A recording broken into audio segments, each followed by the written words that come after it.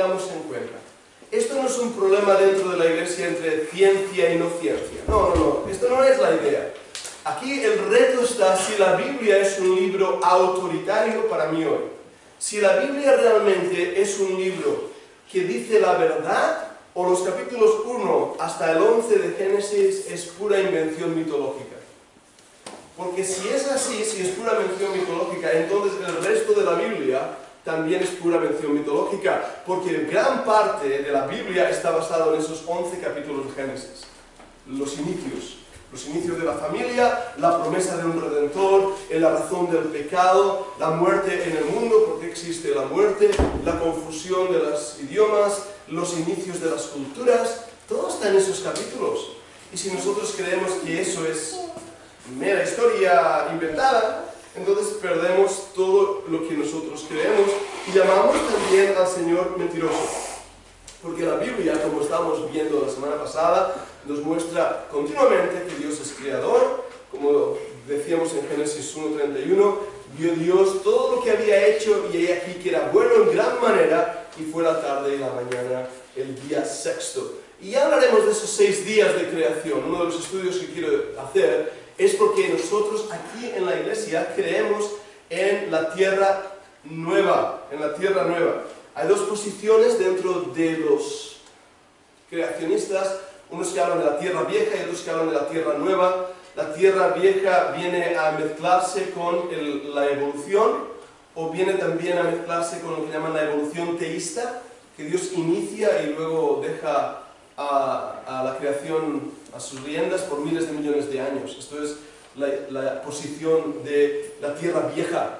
Pero la tierra nueva establece que Dios crea un mundo en seis días, el séptimo descansa, y que esa tierra nueva que ha creado tiene un aspecto viejo. Lo que os decía antes del hombre Adán creado, un hombre adulto, 20, 30 años, no lo sabemos, pero en el instante que fue creado tenía un segundo de vida, pero su aspecto era un aspecto antiguo.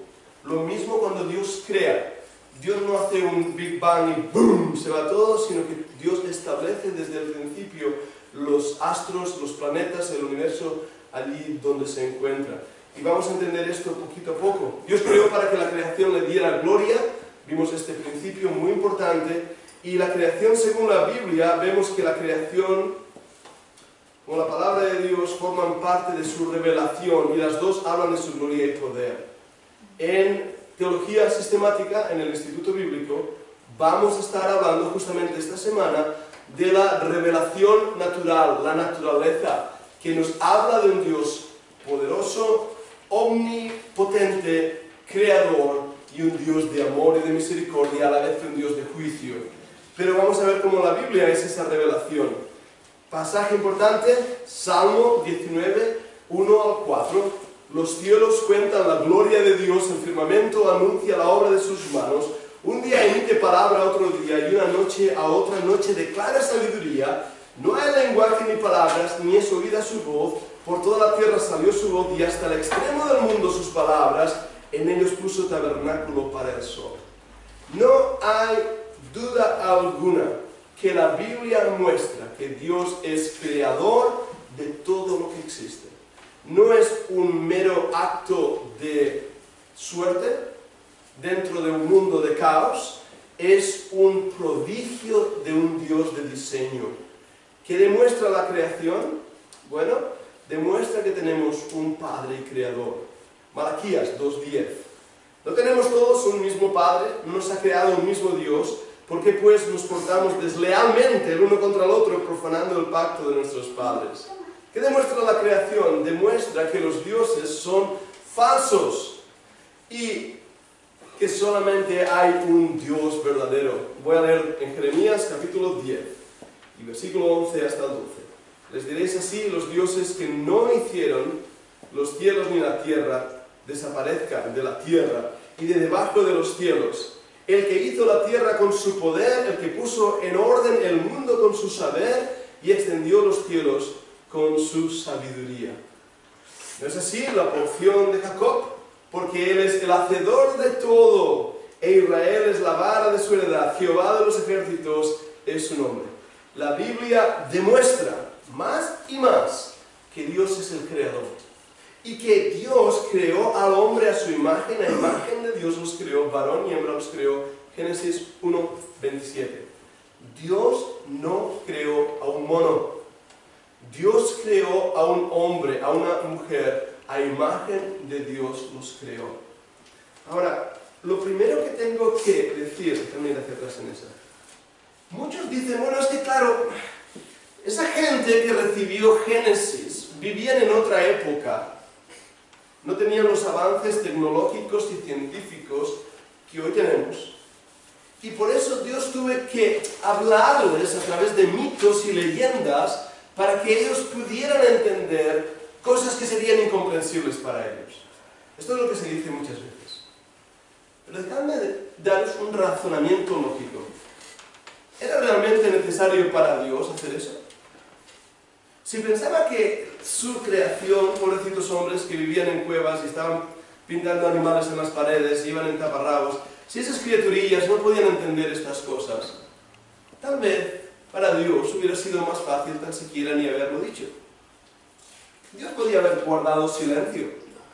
No hubiera hecho falta decir, en seis días creó los cielos y la tierra. Dios podía haber simplemente usado una expresión como, por muchísimo tiempo, o en una gran época, o a través de muchísimos años. Dios podía haber dicho lo que Él quisiera de la forma que Él deseara para que esas criaturas lo entendieran. No era necesario hablar de seis días de creación. ¿Ves lo que estoy diciendo? Cuando Dios reveló lo que reveló, era justo lo que quería revelar. No depende si es cierto o mentira, si el hombre lo cree o no lo cree. La, realidad no depende de lo que tú creas. La realidad depende de ella misma. La verdad es ah, bastante fuerte por sí misma. Alguien la puede negar, alguien puede poner otra realidad y mentir y decir cosas que no son, pero la verdad es, por ella misma, imperenne, incambiable, indestructible. Y es lo que debemos ver cuando vemos lo que dice la Biblia. Entonces, la idea de mezclar la evolución con la creación es incompatible. No puede ser. Muchos lo hicieron. Es triste decir que un gran teólogo, y yo admiro sus escritos, llamado Bebe Warfield, un hombre de Dios realmente poderoso que vivió en los años pasados, 1900 y algo, no sé si fue, no voy a hacer una fecha ahora para no equivocarme, pero eh, en 1900 aproximadamente, él mezcló, mezcló eh, la teoría de la evolución con la creación. Y esto dio pie a una posición que se llama así, el, la, la, evolución teológica o teísta. Entonces tenemos que ver que esa mezcla no es positiva. Ahora, ¿qué es la evolución o qué, qué es esa teoría? Vamos a ver algunos datos históricos y a veces estos datos pueden ser aburridos, pero nos es necesario entenderlos es la creencia de que el universo se originó a partir de una masa de materia, la cual explotó y eventualmente formó, luego de billones de años, los planetas, las estrellas y las galaxias. Luego de la materia que había en planeta Tierra, surgió una célula, lo que llamamos la, la sopa, la cual se transformó en un microorganismo, el cual se transformó en un animal vertebrado, el cual se transformó eventualmente en el hombre. Resumido a grandes rasgos, esto es lo que el darwinismo enseña. Vuelvo a repetirlo de una manera muy simple. A través de una explosión de un gas primitivo se produce la materia. La materia termina en una bola, en una masa, donde se produce una sopa de cultivo, donde aparece una célula a través de la unión de varios ah, organismos y esa célula termina convirtiéndose en un mamífero, en un vertebrado y eventualmente en el hombre. ¿Bien? Es así de sencillo. Ahora, esto tan sencillo nos lleva a presentar más evoluciones. La evolución cósmica, la teoría del Big Bang, es que a través de una gran explosión aparecen todos los astros, todas las galaxias que existen en nuestro cosmos. La evolución orgánica intenta explicar el origen de la vida, la biogénesis que hablamos. Hay otra evolución, le llamamos microevolución. Es la variación de los seres vivientes. Es decir, dentro de una misma especie se producen cambios en algunos aspectos genéticos que dan lugares a diferentes cambios dentro de la misma especie.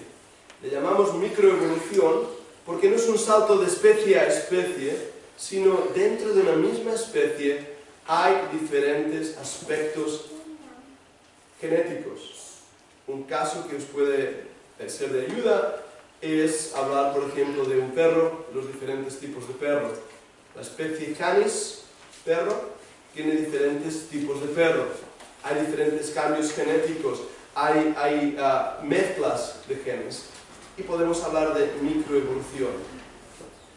Después está otra cosa llamada macroevolución.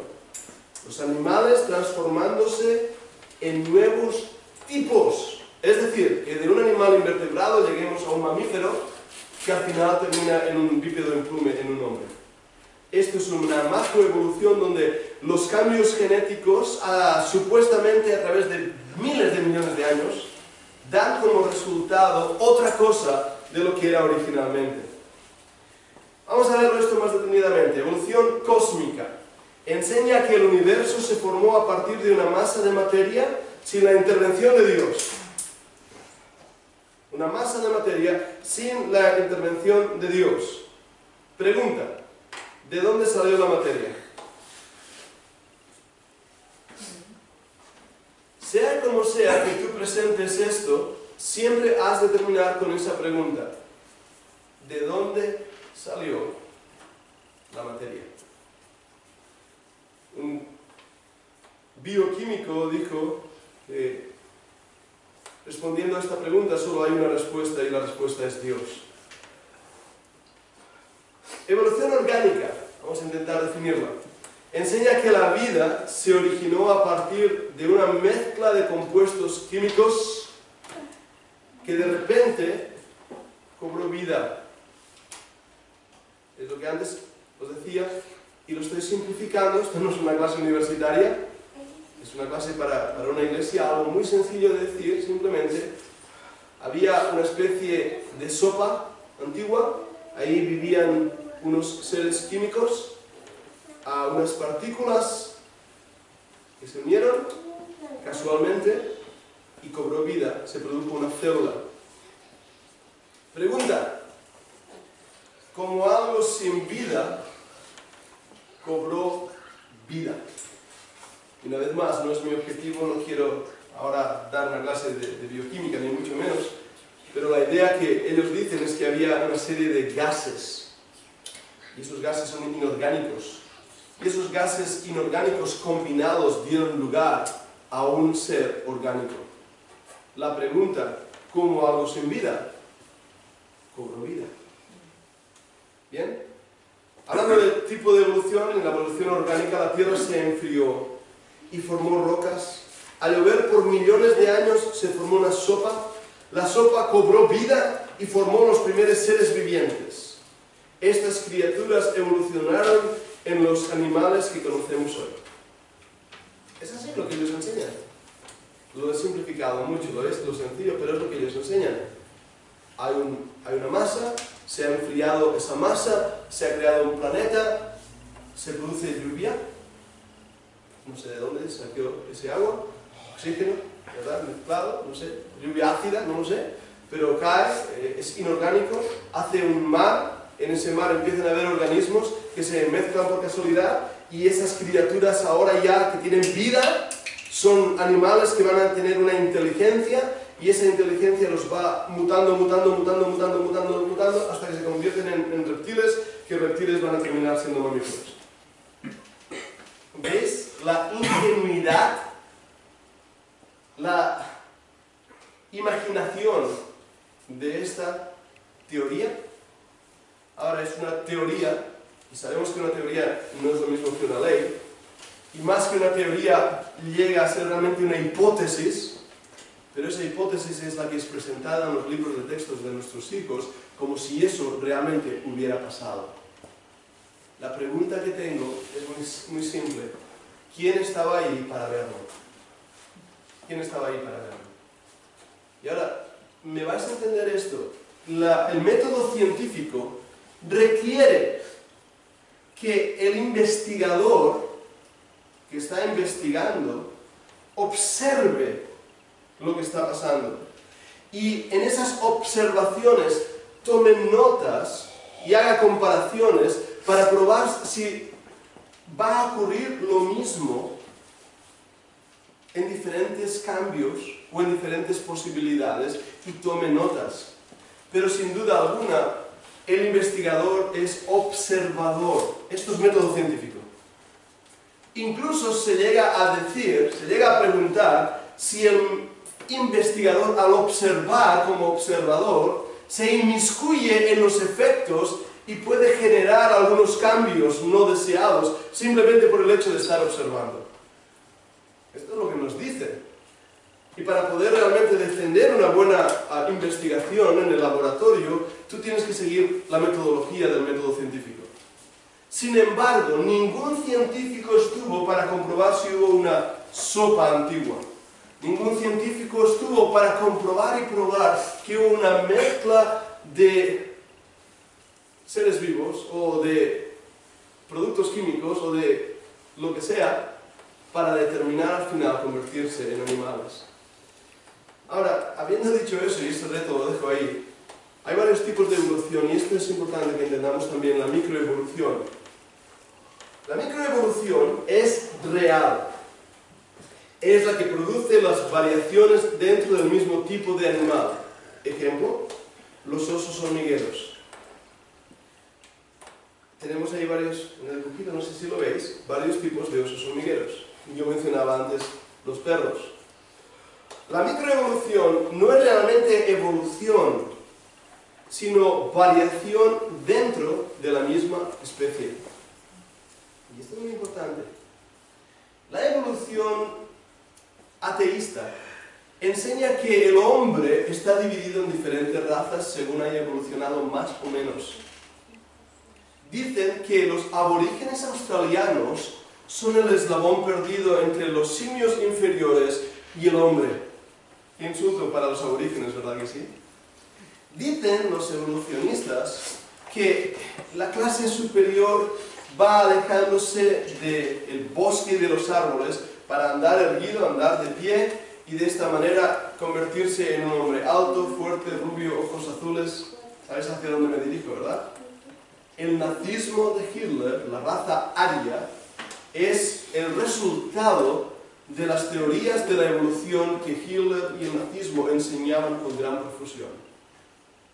La Biblia enseña que de una sola sangre Dios ha hecho a todos los hombres. No hay diferencia de razas. De hecho, las razas es un invento de la evolución, la raza humana. No hay razas humanas. Todos nosotros descendemos del mismo padre, Adán y Eva.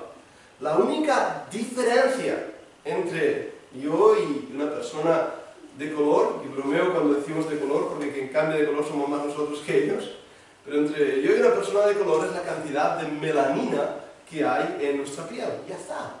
La diferencia entre, entre nosotros, eh, mediterráneos, gente del Mediterráneo, y, alguien que sea de, del Polo Norte, es la cantidad de grasa acumulado en la parte de abajo de los ojos, la tonalidad de la piel. Hay diferencias, hay cambios que nuestro organismo, nuestro cuerpo cambia para poderse adaptar al medio. Esa era una buena observación. Era una observación científica porque podías ver lo que eso estaba pasando. Lo que no era científico es pensar que por miles de millones de años un simio inferior se convirtió en un hombre. Microevolución. ¿Está de acuerdo con la realidad? Sí. Prácticamente todas las especies de animales tienen estas variaciones. Hay diferentes razas de pájaros y hay diferentes tipologías dentro de esas razas. Ahora, la microevolución se le conoce como selección natural. Y esto es una terminología utilizada por el mismo Darwin. El problema es que los evolucionistas usan la evidencia de microevolución, que es cierta, no, no la desmentimos, para apoyar la macroevolución, que no es cierta. ¿Veis hacia dónde me dirijo? La microevolución, los cambios que se producen ahora entre nosotros de generación en generación, decimos ahora que los jóvenes de hoy son más altos que nuestros abuelos. Una razón muy práctica, nuestros abuelos que vivieron durante la guerra y la posguerra tuvieron una mala alimentación y ahora los jóvenes de hoy en día están más que sobrealimentados, además con todos los potines que le ponen en la comida para engordar a las vacas y luego engordamos nosotros. Y como buenas. Sí, ¿no? Así que esa, esos cambios que podemos observar, podemos hablar de una selección natural, correcta, pero no hay ninguna prueba científica actual bajo el método científico de la observación real que muestre que de un ser inferior pueda pasar a un ser superior. Voy a utilizar esa terminología. Que de una ameba se convierta en un reptil. No hay. Por lo tanto, si no hay, ¿por qué creemos que es cierto? Porque la hipótesis de la evolución para negar a Dios es la única respuesta que tiene para negar la creación. La microevolución, el arca de Noé, apoya este hecho real y hablaremos del arca de Noé, hablaremos también de esas representaciones de niños que muchas veces han, sin querer, yo creo que ha sido sin querer, pero han ridiculizado lo que fue el arca. Pero mirad esto, en Génesis 6, 19 dice, de todo lo que vive, de toda carne, dos de cada especie meterás en el arca, para que tengan vida contigo, macho y hembra serán. Esto está en Génesis 6, 19 de los dos perros que estaban en el arca es que tenemos todos los tipos de perros de hoy. La creación duró hasta el diluvio. Los cambios dentro del cataclismo del diluvio fueron monstruosos. Los cambios de clima, los cambios de orografía de la tierra, los cambios dentro de la alimentación de los mismos animales, hubieron cambios que terminaron repentinamente con miles de animales. Y el registro fósil nos habla de ello. Algunos no saben cómo de repente dicen, hubo un gran cataclismo, algo pasó, desaparecieron miles de animales. Y saben y hablan de cataclismos. Por supuesto no hablan del arca de Noé. Pero en el arca de Noé se calcula, si recuerdo bien, a lo mejor puedes ayudarme, tuvieron unos 7.500 animales.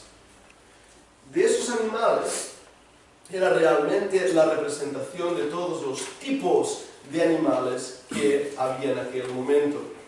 No fue necesario que entrasen todos los perros de todos los tipos, solamente fue necesario que entrasen dos perros, un macho y una hembra. En su genealogía, en su genética, en su desarrollo, en su peregrí, para usar otra palabra, salieron todos los demás perros que existen. Hablaremos más del arca porque es algo interesantísimo. Como vemos, no hay ningún problema con la llamada microevolución, que no es otra cosa que los diferentes tipos dentro de una misma especie. ¿Esa es la diferencia? Los diferentes tipos, la misma especie. No hay cruce de especies, hay tipos dentro de una misma especie.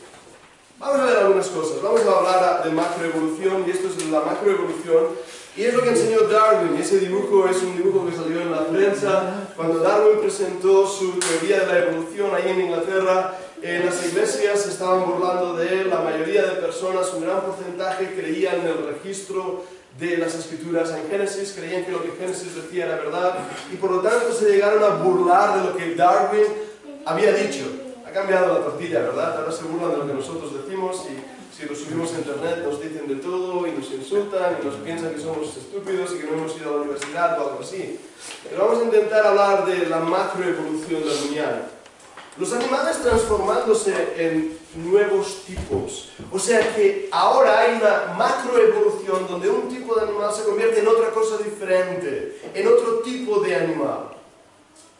esta nunca se ha observado, pero los científicos la enseñan como si fuera un hecho.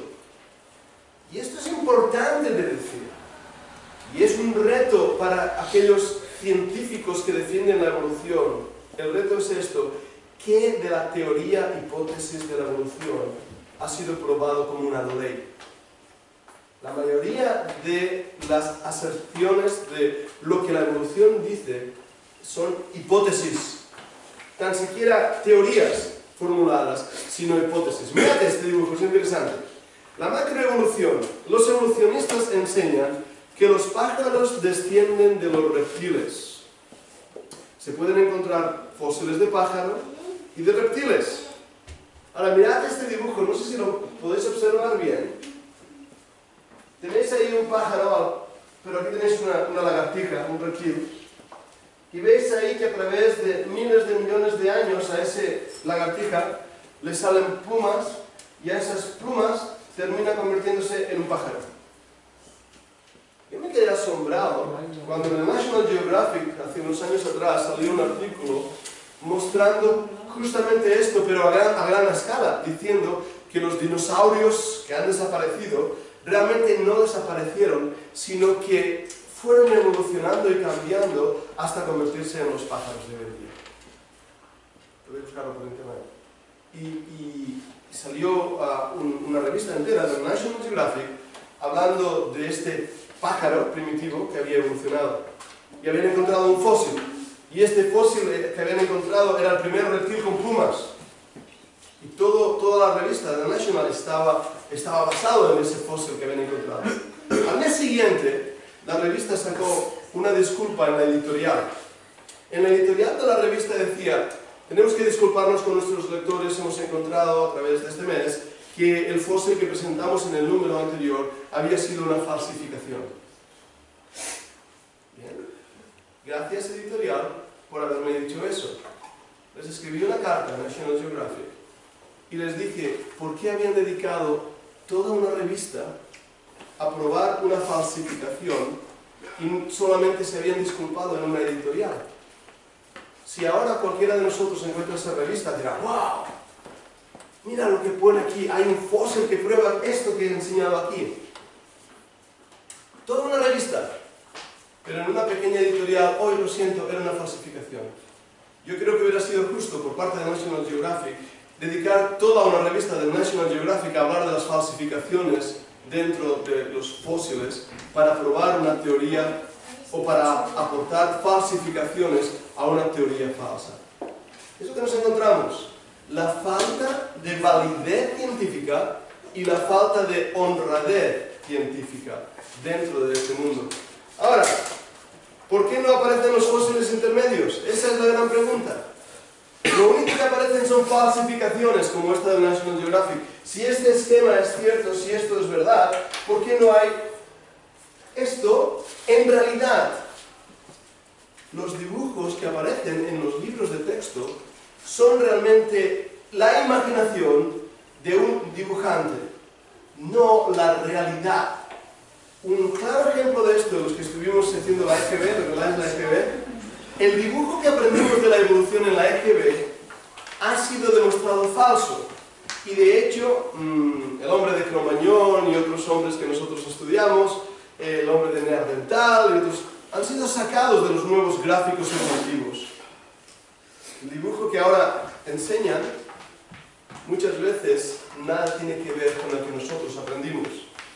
Y cuando lo ponen, y ahí es lo que es divertido, ponen ese dibujo de la evolución, son ya más que probados que eran fósiles falsos y que deberían haber sido retirados, pero continúan utilizándose. En la macroevolución los evolucionistas enseñan que los pájaros descienden de los reptiles. ¿Dónde están esos fósiles? ¿Dónde están esas plumas? ¿Hay reptiles? Correcto, hay un montón de fósiles de reptiles. ¿Hay reptiles de pájaros? Correctos. Pero no hay ningún tiranosaurio rex con plumas. No lo hay, porque nunca existió. Y esto es algo que debemos ver. La macroevolución. Los pterodáctilos eran reptiles que volaban. ¿Correcto? Sí. Pero eran reptiles. Hoy en día hay mamíferos que nadan, pero son mamíferos. Por lo tanto, este punto es muy importante. No hay un cruce de especies, sino que hay diferentes especies con diferentes características, diferentes tipos, que nos ayudan a ver cómo Dios ha hecho un mundo rico en características divergentes. Tenemos que ver esto como algo real. Un ejemplo de macroevolución. Bien, ah, y, esto lo vais a ver, esta es la evidencia presentada en cualquier libro de texto de biología. Los que estáis en el cole, estáis en la universidad, vais a ver cositas de este tipo. Los pequeños reptiles que andaban dos patas, que dieron lugar a los reptiles gigantes que llamamos dinosaurios. ¿Nunca habéis visto esto? Muchos de los, de los dinosaurios eran realmente pequeñitos.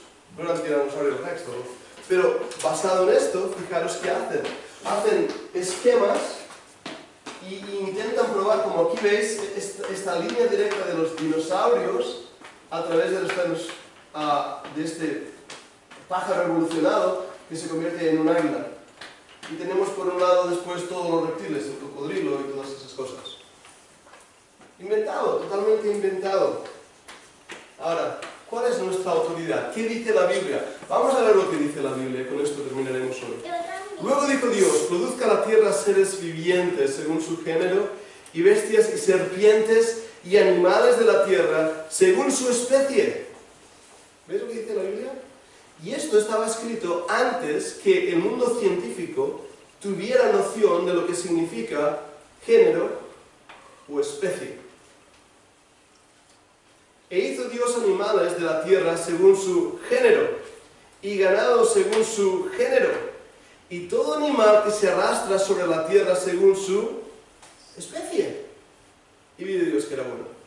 Una vez más, siguiendo mi, mi postulado anterior, Dios dijo lo que dijo porque era lo que quería decir. Si Dios dijo que Dios hizo, Él hizo el mundo en seis días, lo dijo porque lo hizo. Aquí habló de géneros y habló de especies. Lo dijo antes que los científicos determinaran que existían especies. Y en hebreo es la palabra que se usa. Entonces, ¿quién es anterior? ¿El científico con su bata blanca y sus gafas cuadradas? ¿O Dios? ¿Sabes? Yo sé a alguien que estuvo ahí cuando fue el inicio de todas las cosas. Fue Dios mismo. La macroevolución enseña que de un primate, de un mono, venimos tú y yo. La evolución en los libros seculares típicamente se refiere a la macroevolución, la cual es mentira. Tenemos que decirlo. Eh, la Biblia apoya la idea de que dentro de la misma especie podemos tener cambios. Y este es uno de los cambios más comunes que vais a ver en los libros de texto, que el Mickey Mouse se convierte en Super Mickey Mouse. Eso ha evolucionado. Hay cambios, microcambios en las, en las, ah, en las hormigas, en las plantas, en las flores, eh, en las moscas, en los perros. Correcto, no hay ningún problema porque todo está dentro de la misma especie, de la misma especie. ¿Bien? ¿Se parecen? Sí. Mucho. Mucho.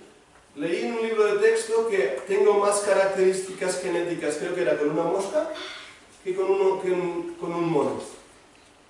No está mal, y no me parezco nada a una mosca, no por ahora.